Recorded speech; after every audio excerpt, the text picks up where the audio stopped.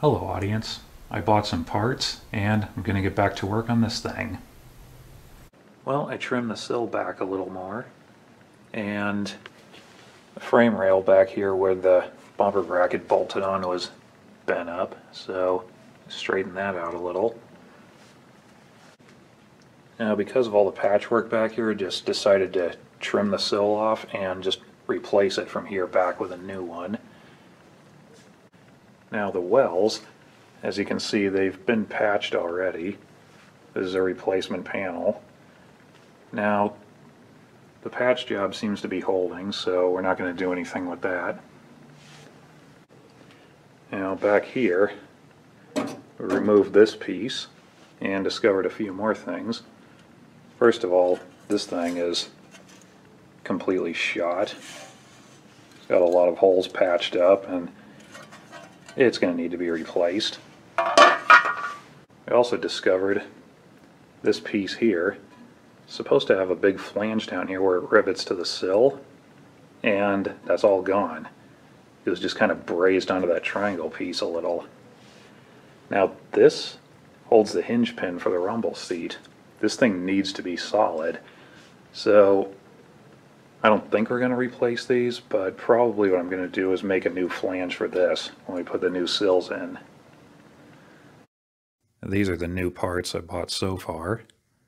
A new sill rear cross member. A pair of half sills. Now these are actually for a 3031 Roadster, which I bought out of convenience. They're not the same, but the part we need off of them interchanges. A new rear bumper crossbar. A new body back panel. A new inner panel. And a new left rear fender. Now this isn't everything we need, but it's enough to get started.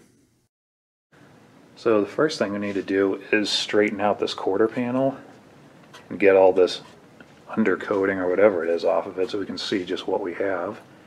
And then we'll start reconstructing it. Well, I've been removing the undercoating in here and I discovered this. A big patch panel that's just kind of thrown in there, not all that well. Now what's really surprising is you look on the other side, and there's nothing wrong with that. There's no seam anywhere in here. There's a little bit of damage right here that's been brazed up, and that's about it. So why this patch is in here, I have no idea. So I'm going to try to remove it.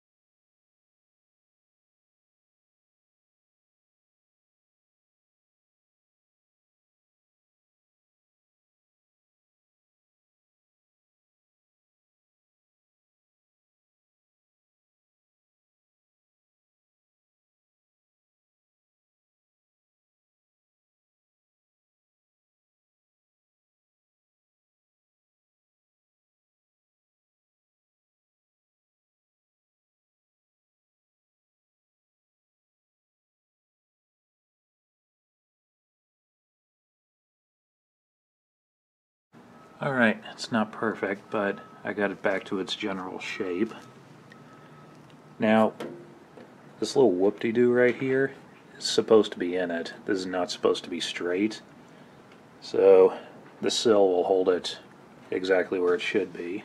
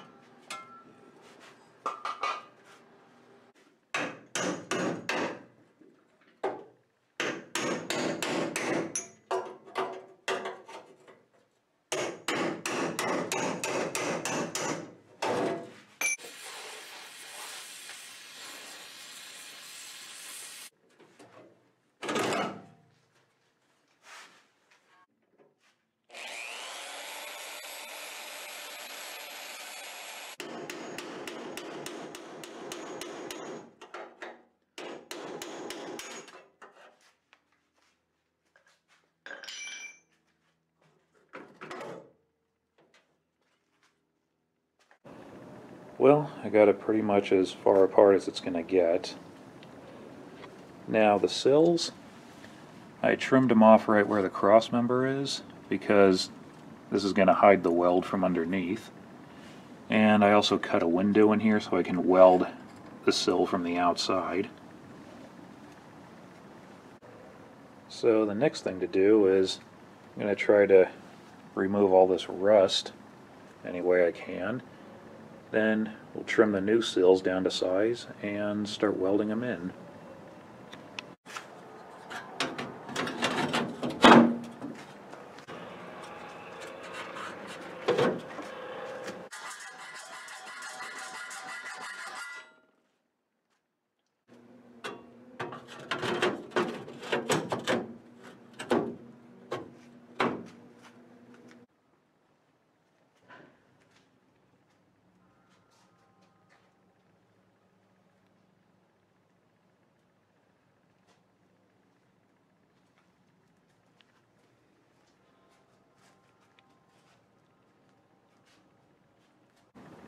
Now we're starting to mock up the new sill to get ready to weld in, and I discovered something. This flange that it attaches to is way too low. As you can see, it's about a half inch too low. Which answers this. I was wondering why the body was lower than the frame back here. And the reason for all this is because this patch panel was attached in the wrong place. It's too low. So, what we're going to do to fix this is remove these and weld them back in in the right location. I really wanted to leave these in place, but it looks like that's not really an option. The good news is, while it's apart, it's going to make it a lot easier to weld the sill together, and it's going to be easier to clean all this up.